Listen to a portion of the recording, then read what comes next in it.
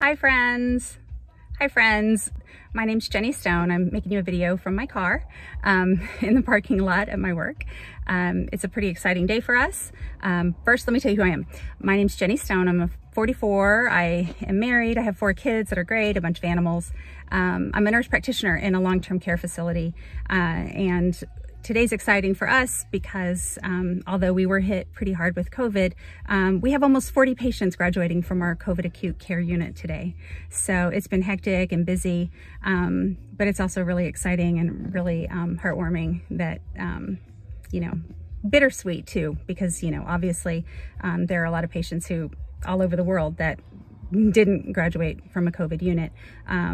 But I'm remaining um, hopeful and optimistic and um, very excited about all this.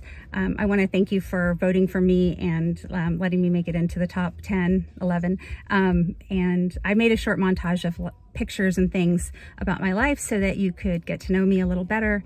And just thank you again for including me. Uh, it means a lot. Thanks.